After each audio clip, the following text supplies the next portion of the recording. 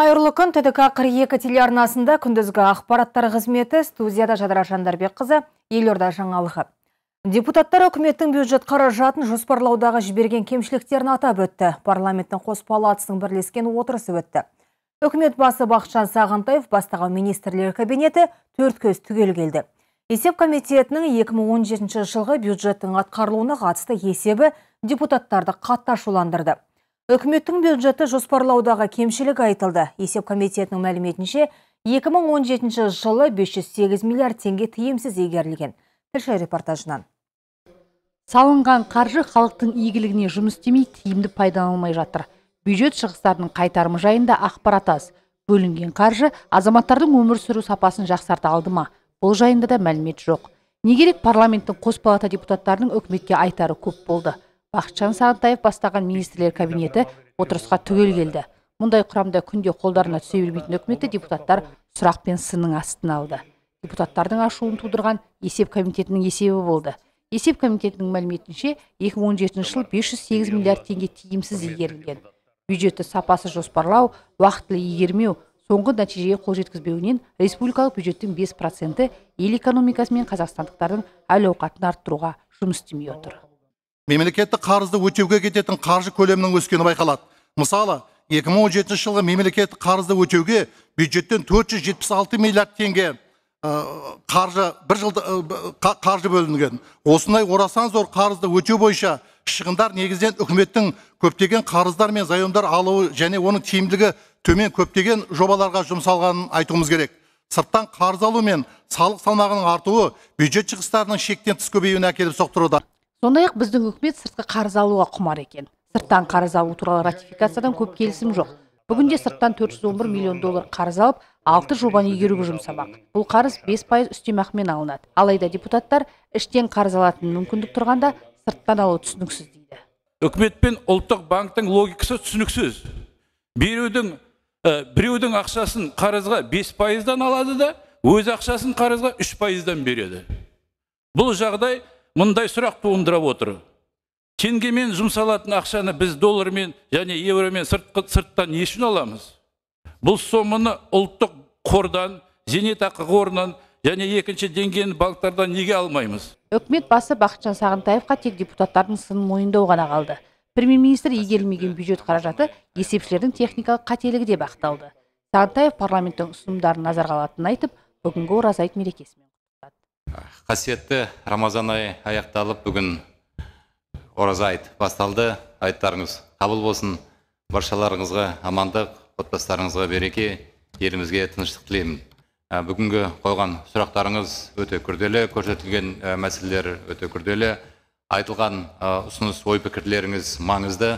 Осының бәрі үкіметте қарап өздеріңізбен бірге тағы да ақылдасып алдағы уақытта жұмысымызда ескереміз деп сіздерге сенім білдіргім келеді. Тағы да қолдағандарыңыз үшін рахмет айтқым келеді. Әселім қалкен ахмедияр ильясов тдк қырық екі телеарнасы астанада. Бөрлі ауданының орталығында құны 1 миллион ақш доллары болатын сұйық азот өндіретін зауыттың құрылысы жүріп жатыр. Аталмыш зауыттың құрылысы өткен 2016 жылдың желтоқсан айында басталып биылғы жылдың тамыз айында аяқталады деп күтіліп отыр. Бұл өндіріс ошағы 9 адамды жұмыспен қамтамасыз етеді. Сондай ақ ақсай қаласында смарт сити бағдарламасының аясында ішкі істер бөлімінің шұғыл басқару орталығының құрылысы басталыпты. Бөрлі ауданында халықтың игілігі үшін атқарылып жатқан жұмыстар туралы келесі сюжетте. Биылғы жылы бөрлі ауданының орталығы ақсай қаласында бірнеше әлеуметтік нысан мен сұйық азот өндіретін зауыттың құрылысы басталған. Аталмыш зауыттың іргетасы өткен 2016 жылдың желтоқсанында қаланып биылғы жылдың тамыз айында зауыт пайдалануға берілмек. Өндіріс ошағы іске қосылған тұста. Оның қуаттылығы бір тәулікте 20 тонна өнім өндіре алады деп жоспарланып отыр. Жобаның жалпы құны 1 миллион ақш долларын құрапты. Да, построили, не запустили еще, не, ну, не до конца еще. Зауыттың құрылысы өткен жылы басталды. Биылғы жылдың шілдесінде аяқтауды жоспарлап отырмыз. Біздің кәсіпорын мұнай өнімдерін өңдеумен айналысады. Өндірілген сұйық азот Қазақстанның түрлі түпкірлеріне жеткізуді жоспарлап отырмыз облыс басшысы бөрлі ауданына жасаған жұмыс сапары барысында ақсай қаласындағы ішкі істер бөлімінің шұғыл басқару орталығының құрылысымен де танысты. Бұл жоба смарт сити бағдарламасының аясында іске асып жатыр. Жаңа ғимарат үш қабатты болады. Келешекте шұғыл басқару орталығы құқық қорғаушылардың жұмысына қажетті барлық дерлік құралдармен жабдықталмақ. Ғимарат бұл ә, цоу дейді енді центр оперативного управления. Жалпы осы ғимараттың ішінде аудан бойынша енді ең бастамасы безопасный город. Қауіпсіздік қала ақсай қаласында сергек көркем сергек ком- компаниясымен жекеменшік мемлекеттік әріптестік арқылы осы қалада жүзден жүзден жүзге таман осындай видео точкалар қойылатын болады бір точка бір жаңағы бір точкада төрт бағытта қа- қаралатын болады Ақсай қаласында құрылысы жүріп жатқан әлеуметтік нысандардың қатарында бес қабатты студенттерге арналған жатақхана да бар. Бұл нысанның құрылысы өткен жылы басталған биылғы жылы студент жастардың игілігіне берілмек. Сондай ақ шаһардың солтүстігінде 240 орындық балабақшаның құрылысы да қарқынды жүріп жатыр. Бұл Бөрлі ауданына қарасты Пугачев ауылдық округі. Бұл жердегі кәсіпкер мал ұстап, кәсібін дөңгелетіп, сүт өнімдерін өндіретін және қайта өнімдеу ісі үшін сүт фермасының құрылысын бастапты. Бұл ферманың жалпы құны 2 миллиард 500 мың теңгеге бағаланып отыр. Қазіргі таңда сүт фермасының құрылысы қарқынды түрде жүріп жатыр. Кәсіпкер биылғы жылдың қараша айларында сүт өнімдерін өндіретін кәсіп орнын іске қосқысы келеді. пугачев жерінен осы құрылыс саласына елу гектар жер бар және ірі қара малға тамақ ас дайындауға төрт мың гектардай жер алып бүгінгі күнде осы бірінші этабын бастадым бұл жерде екі қора Ал Бөрлі ауданына қарасты Бөрлі ауылында дене шынықтыру кешенінің құрылысы іске асып жатыр. Кешеннің құрылысы өткен жылдың тамыз айында басталыпты. Работы ведутся согласно графика. Э, Окончание. Жұмыстың баршасы кестеге сәйкес жүріп жатыр. Бұл жоба тамыз айында аяқталады деп жоспарланып отыр. Жобада спорттық инвентарлар қарастырылған. Бөрлі ауданында халықтың игілігі үшін деп атқарылып жатқан игі істердің қатарында Ақсай Жымпиты тас жолы бар. Бұл тас жолдың жөндеу жұмыстары өткен жылдың маусым айында басталған болатұғын. Ақсай мен Жымпитыны жалғайтын тас жолды екі мердігер компания қақ бөліп, биылғы жылы бір мердігер 6,6 шақырымды, ал екінші мердігер 6,9 шақырымды жөндемек. Ажар Хамитова, Нұрлан Кунашев, Рустам Жұмашев, ТДК ғыр телеарнасы. Орал қаласында қоқыс шығару қызметінің бағасы 100 теңгеге қымбаттады. Бұрын коммуналдық қызмет ақысы 115 теңге болса, енді кісі басына айына 215 теңге болып өзгертіліп отыр. Бұл жөнінде қалалық мәслихаттың 23-ші кезектен тыс сессиясында айтылды. Сондай-ақ ел ағаларымен 2018 жылға арналған бюджет нақтыланды. Толығырақ алдағы сюжетте. Тұрмыстық қалдықтар мәселесі аймақ үшін өзекті болып тұр. Полигондарда өңделмеген қалдықтардың үйінді болып үйілуі экологияға да зиянын тигізбей қоймайды. Ал қоқыс шығаратын қала тазалығымен айналысатын компания тарифті 10 жылдан бері өспегенін алға тартып, сұраныстарын жолдаған. Есептей келе бір кісіге тариф құны 380 теңге болуы анықталыпты. Бірақ оны қазір түсіріп 215 теңге деп белгілеп отыр. Тариф на сбор, вывоз и захоронение твердого Бұрын тұрмыстық қалдықтарды шығару тарифінің құны 115 теңге болған еді. Енді мәслихат депутаттарының қолдауымен 215 теңге болып белгіленіп отыр. Бұдан өзге жеке тұрғын үй секторларынан тұрмыстық қалдықтарды шығару тарифінің құны 219 теңге болып отыр.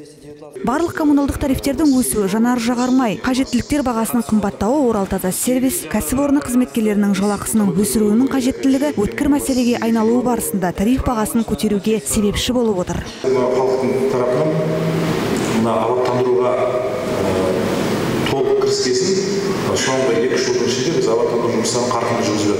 оның ішінде спорт алаңдарын балалар алаңдарын салу жұмыстары қарқынды атқарылу керек тек қана былтырғы жылы біз елуға жуық ауланы абаттандырдық жаңағы асфальт бетон төсеу сол сияқты спорт алаңдарын балалар алаңдарын салу жұмыстарын қарқынды бастадық. Биыл да бұл жұмыстар жалғасып жатыр.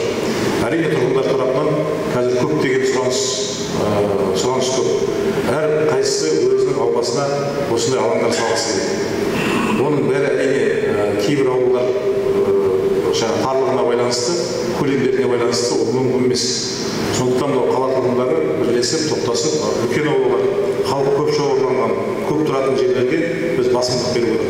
отырмыз ел ағалары мен шаһар бюджеті бір бүтін оннан бір миллиардқа өсірілді. Сессияда депутаттар осы мәселені нақтылады. Қала аумағын санитариясын қамтамасыз етуге 269 миллион 282 мың теңге. Тұрғын үй коммуналдық шаруашылығы қорын жаңғыртуға 62 миллион 672 мың теңге. Цифрлы қазақстан бағдарламасын іске асыруға 13 миллион 800 мың теңге. Инженерлік желілерге құқы белгілейтін құжаттарды дайындауға 12 миллион 500 мың теңге. 200 миллион теңге инновациялық технологияларды қауіпсіздікті сақтауға қолдануға 269 миллион теңге санитарлық қамтамасыз етуге және 173 миллион теңге көше жарықтарын жаңғыртуға қолданылатын болады. Эльмира рахмешева нұрлан қонашев рустам жумашев тдк 42 телеарнасы. Биылғы оқу жылында өзге оқу орнында оқыған 112 студент Жаханша Досмұхамедов атындағы педагогикалық колледжінің жанындағы жатақханада білім алған. Бұл туралы Қазақстан Республикасының мемлекеттік қызмет және сыбайлас жемқорлыққа қарсы іс-қимыл агенттігінің мамандары хабарлап отыр. Облыс көлемінде 20-ға жуық жатақхана бар.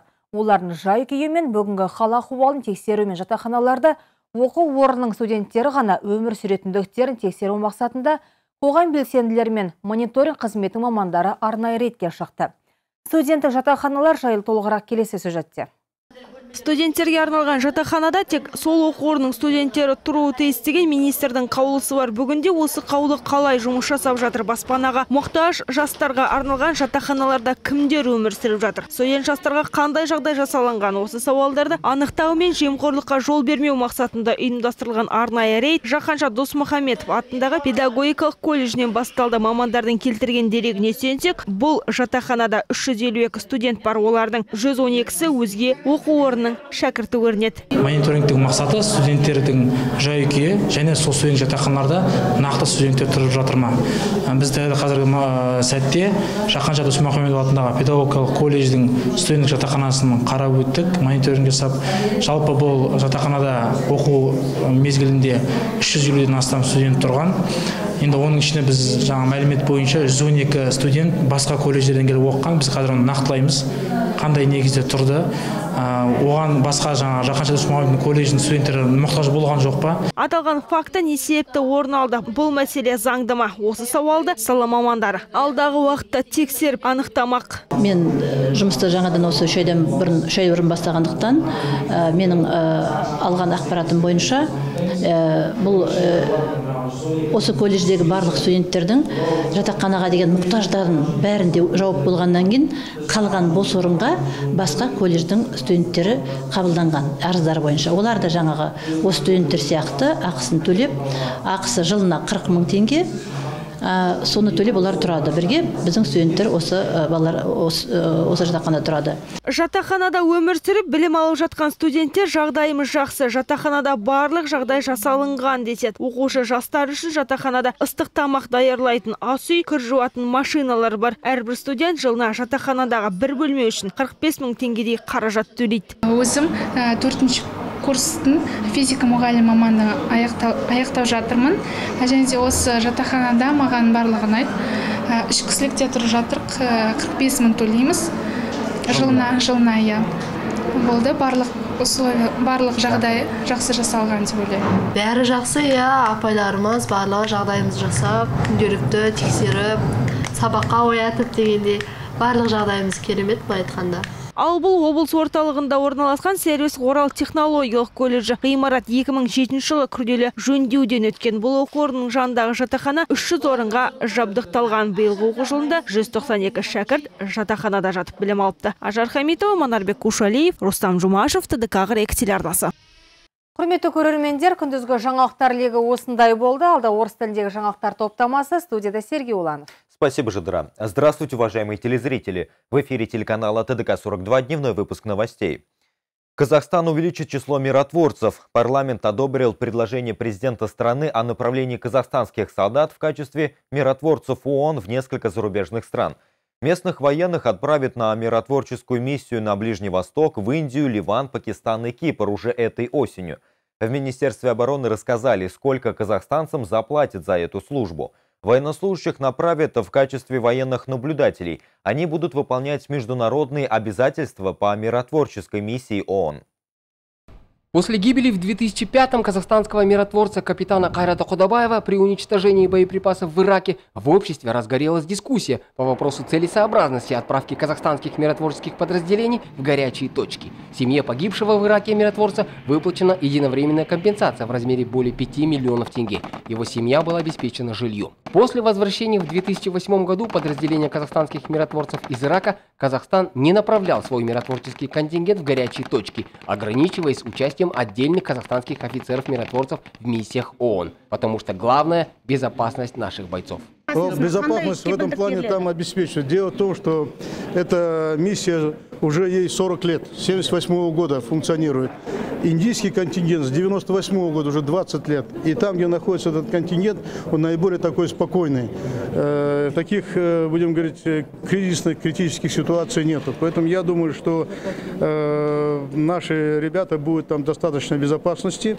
И тем более отношение местного населения к индийскому контингенту очень хорошее. Это по данным индийских представителей, Объединенных Наций, ну и наших соответствующих необходимых служб. Поэтому я думаю, что все должно идти планово, и никаких, думаю, таких ситуаций не должно быть. Отмечается, что в настоящее время в миссии ООН в Сахаре участвуют пять казахстанских военнослужащих. Многие получили медали за личный вклад в миротворчество, а также назначались на руководящие должности. Руководством ООН дана высокая оценка их уровню, поэтому предлагается расширить географию присутствия казахстанских военных. При общих подсчетах заработок военного составит сотни тысяч тенге. Контракт с казахстанцами планируется подписывать на 6 месяцев. К примеру, если у нас контрактник получает 100 тысяч тенге, то там это будет 300 тысяч ежемесячно. Еще предусмотрены выплаты ООН, где-то 1410 долларов в месяц.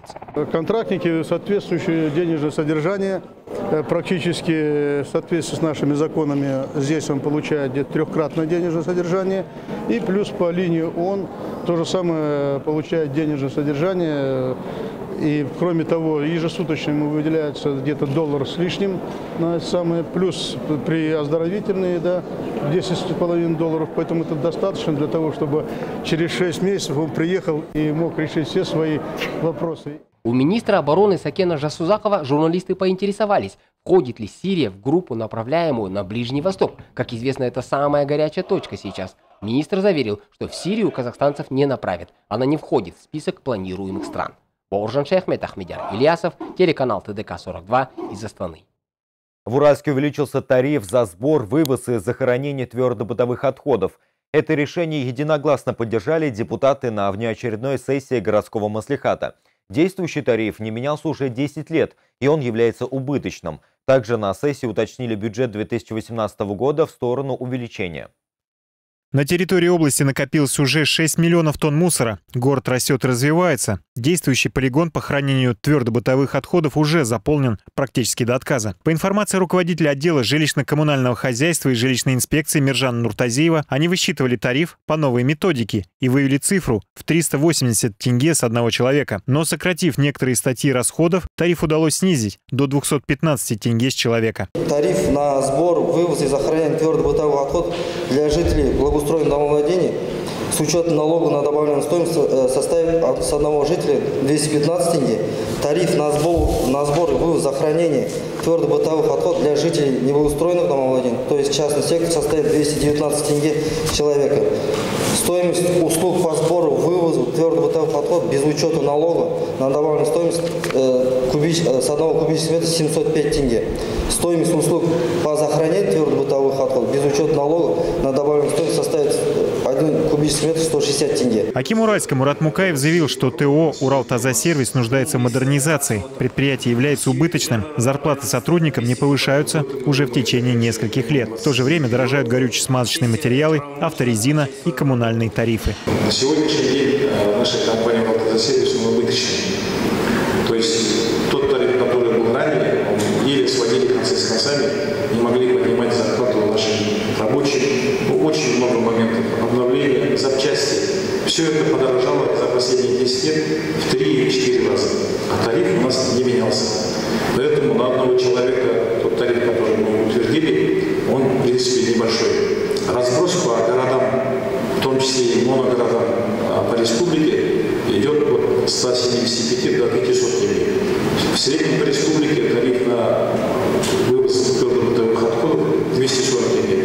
А мы приняли ниже среднереспубликанского, всего на 215 тенге с одного человека. Я думаю, это немного. Также депутаты одобрили уточнение бюджета. Он вырос более чем на 1 миллиард тенге. Бюджет развития, вы знаете, у нас 15 миллиардов 900 миллионов составил по сравнению с прошлым годом увеличил, увеличен в два раза. В прошлом году на этот период было 7,9 миллиардов. То есть э, очень большая работа проводится, масштабные проекты реализуются в городе. То же самое можно сказать по замене теплотрасс. Все магистральные, четыре магистральных теплотрассы мы в этом году начнем и завершили до осени. 269 миллионов тенге будет направлено на обеспечение санитарии, 200 миллионов на применение инновационных технологий в обеспечении безопасности дорожного движения, еще 173 миллиона на модернизацию уличного освещения. Роман Копняев, Нурлан Кунашев, Рустам Джумашев, ТДК-42. В Западно-Казахстанской области строят дорогу Аксай-Жембиты. Протяженность дороги составит 90 километров. В текущем году должны завершить строительство участка длиной порядка 7 километров. Об этом Аким области сообщили подрядчики. Кроме того, в Бурлинском районе подрядные организации занимаются строительством детского сада, ЦОУ при местном РОВД и физкультурно-оздоровительного комплекса. Ряд объектов строится за счет инвестиций. На каком этапе ведутся работы? Вместе с главой региона узнали наши корреспонденты.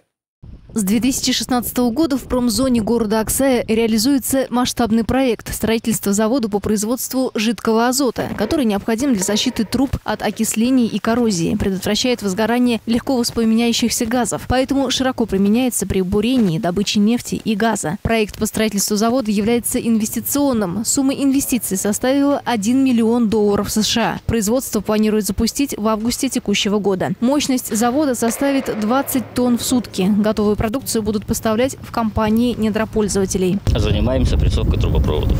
Так, далее куда Далее на месторождение, на нефтепереработку, все заводы.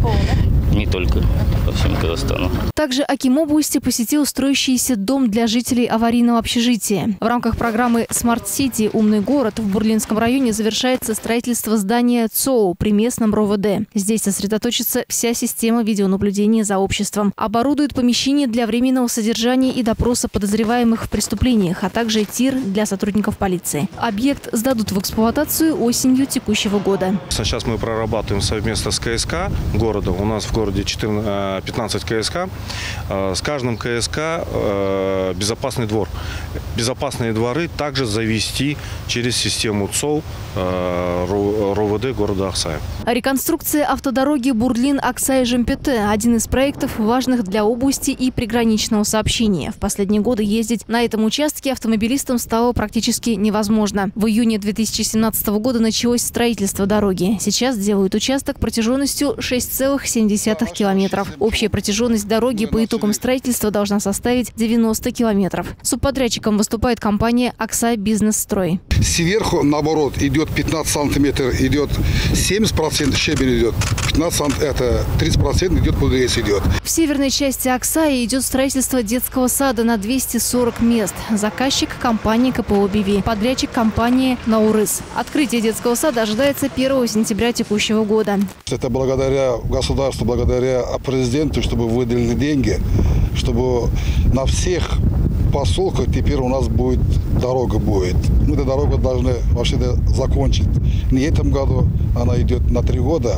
Вот в прошлом году начали около 15 километров. В селе Пугачева началось строительство молочной фермы. Проект инвестирован на 2,5 миллиарда тенге. Ферма рассчитана практически на 600 голов скота. В августе текущего года планируют завершить строительство физкультурно-оздоровительного комплекса в селе Бурлин. Удобное расположение позволит проводить здесь соревнования межрайонного уровня. Здесь расположится помещение для занятия самыми разными видами спорта. В проект заложен полностью и инвентарь, как вы э, видели, э, зал для игровых видов спорта, который соответствует всем стандартам. А также есть э, зал для занятия боксом и зал для занятия тяжелой атлетикой. Планы по развитию Бурлинского района очень большие. Многие объекты строятся здесь с учетом прироста населения. Марина Горбук, Нурлан Кунашев, Рустам Джумашев, ТДК-42. В Шенгерлауском районе Западно-Казахстанской области строят водопроводы. Уже через год жители местных поселков смогут пользоваться водой из собственных кранов. За ходом работ по строительству наблюдал Аким области Алтай Кульгинов. Также в районе он посетил местную птицефабрику и парк культуры и отдыха. Строительство водопровода в селе Ашисай Шенгровауского района ждали очень давно. Новость о том, что в скором времени здесь появится своя вода, стала для местных жителей настоящим праздником, ведь раньше они могли пользоваться лишь платной привозной водой. Работы по строительству водопровода начались в апреле текущего года. Срок строительства – один год. Проект обойдется в сумму свыше 343 миллионов тенге. У нас нет воды с той поры, как разрушился Советский Союз. Мы очень благодарны нашему главе государства Нарсултану Абишевичу Назарбаеву за внедрение такой программы Акбулак, за проведение питьевой воды в наших селах. Сейчас вода привозная. Одна фляга 40 литров стоила 20 тенге. Параллельно будут строиться водопроводы в селе Амангильде и водопровод от скважины Ашыктугай до села Жанакуш. В скором времени в районе появится врачебная амбулатория с дневным стационаром, процедурным и прививочным кабинетами. Побывал Аутай Кульгинов и на действующей птицеферме. Местный предприниматель занимается выращиванием цыплят, птенцов уток и гусей. Для строительства и оборудования помещений в 2013 году он взял кредит в сумме 3 миллиона через Центр занятости. Хозяин фермы построил ветряную мельницу и солнечную панель, с помощью которой вырабатывает собственную электроэнергию. В целом отмечает, что заниматься птицей довольно выгодно. Маленьких берем, суточных, и выращиваем до месяца, месяц-два.